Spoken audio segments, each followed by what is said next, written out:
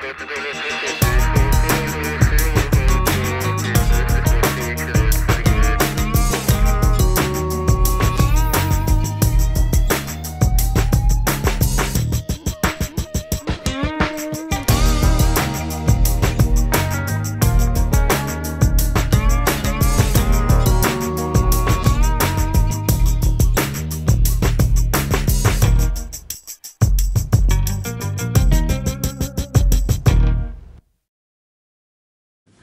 Hi, I'm Lieutenant Rob Swoboda. I'm an advanced EMT with Delaware County EMS.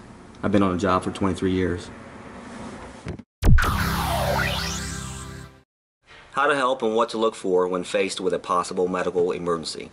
In the event of a medical emergency, you should call 911 for an ambulance with any of the following complaints. Unresponsiveness, confusion, choking, breathing difficulty, chest pain, fainting, inability to move or speak, slurred speech or facial droop, paralysis or extremity weakness, suicidal thoughts, uncontrolled bleeding, neck or back injuries. If in doubt or unsure whether it's a life-threatening emergency, never hesitate to call 911. Remember to remain calm until help arrives and that emergencies can result from illness or injury.